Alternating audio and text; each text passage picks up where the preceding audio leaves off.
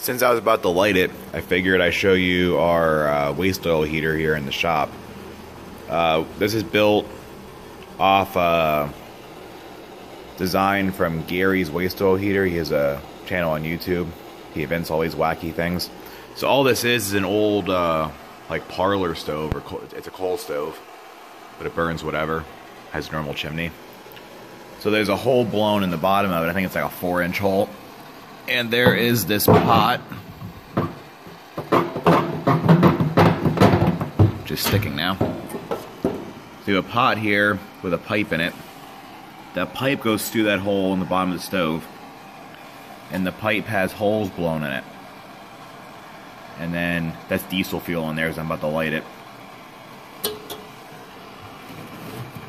So it just goes reinserted into its hole.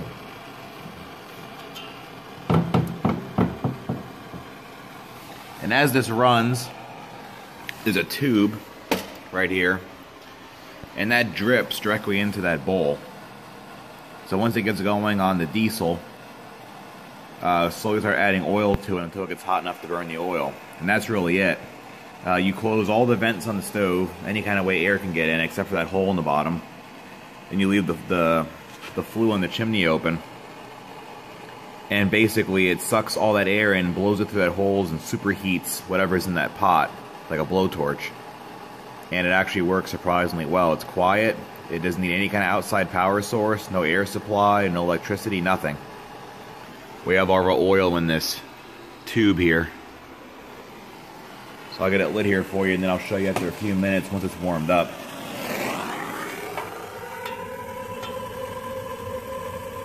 You can see it better now that it's lit. The noise you probably just figured out was a torch in the background.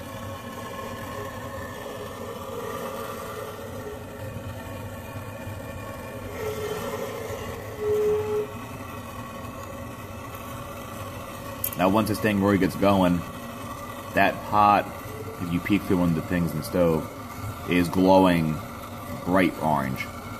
So when the oil hits it, it actually vaporizes the second it contacts it and ignites.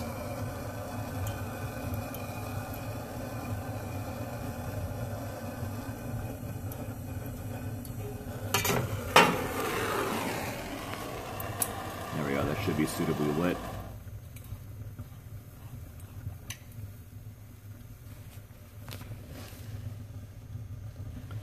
I can start opening the oil here.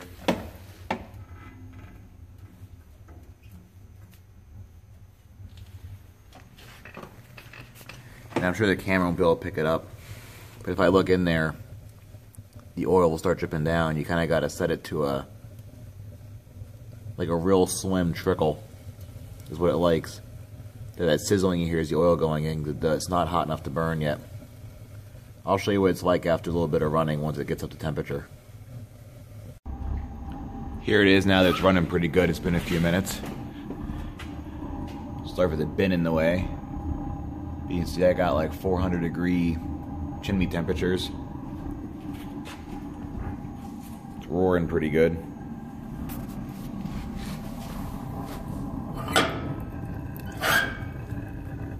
That's completely on waste oil now. You can see the pipe in the center there, the oil dripping in.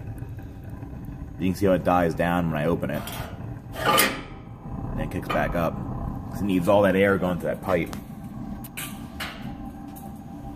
show you here.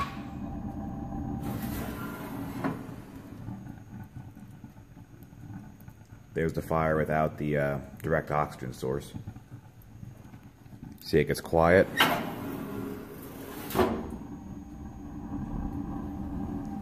Then it goes back to blowtorch again. But it takes a little bit, but eventually it'll get it up to like 65 or 70 in here. So there's our, uh, our heat source we can use up the motor oil with.